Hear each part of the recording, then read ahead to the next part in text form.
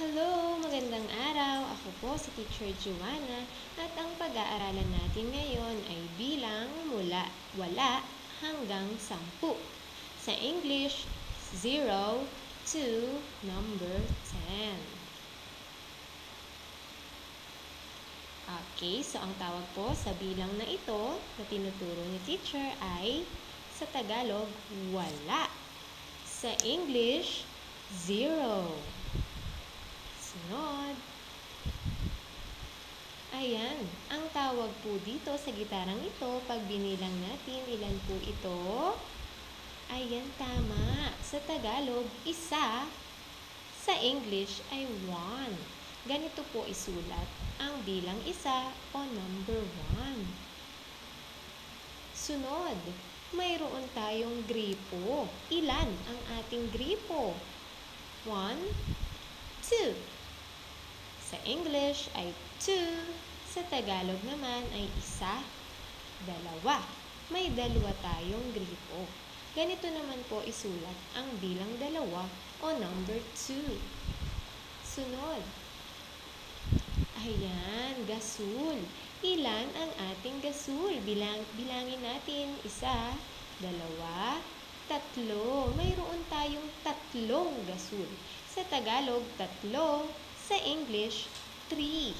Ganito naman po, isulat ang bilang tatlo o number three. Sunod. Gunting. Bilangin natin ang ating gunting. One, two, three, 4. Meron po tayong 4 na gunting. Sa English ay 4. At sa Tagalog naman ay isa, dalawa, tatlo, apat gunting. Sa Tagalog ay apat, sa English ay 4. At ganito naman po ang itsura ng number 4 o bilang apat. Sunod mayroon tayong lagari. Bilangin natin ang lagari sa Tagalog isa, dalawa, tatlo, apat, lima. Mayroon po tayong limang lagari. Sa Tagalog ay lima. Sa English naman ay one, two, three, four, five. Five. May five po tayo na lagari. At ganito naman po isulat ang bilang lima o number five. Sunod, bilangin natin ang mga gatas. Masustansya ang gatas. Bilangin natin sa Tagalog, isa, dalawa, tatlo, apat, lima, anim. Anim. Sa Tagalog po ay anim. Sa English ay one, two, three, four, five, six. Six. At ganito naman po ang bilang anim o number six. Next, mayroon tayong mga mansanas o apples. Bilangin natin sa Tagalog ang mansanas.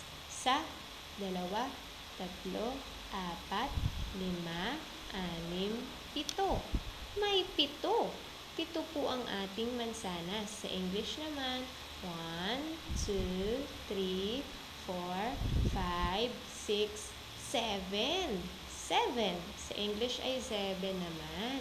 At ganito po ang itsura ng bilang pito o number 7. Sunod. Strawberries. Bilangin natin sa Tagalog. Isa, dalawa, tatlo, apat, lima, anim, pito, walo. Walo sa Tagalog. At sa English, 1, 2, 3, 4, 5, 6, 7, 8. 8 naman po sa English. At ganito po ang itsura ng bilang 8 o number 8. Next, bilangin natin ang ating dahon. Sa Tagalog, isa, dalawa, tatlo, apat, lima, anim, pito, walo, siyam. Siyam sa Tagalog at sa English, 1, 2, 3, 4, 5, 6, 7, 8, 9. 9 sa English. At ito po ang itsura ng bilang siyam o number 9. Panghuling bilang ay Okay, ito po ay mga puso. Bilangin natin sa Tagalog. Isa, dalawa, tatlo, apat, lima, anim, pito, walo, siyam, sampu. Sampu po. Sampu sa Tagalog. At sa English ay 1, 2, 3, 4, 5, 6, 7, 8, 9, 10. 10 sa English. At ito naman po ang itsura ng bilang 10 o number 10. Magkatabi po ang number 1 at 0. Okay, yun lamang po. Salamat. Paalam.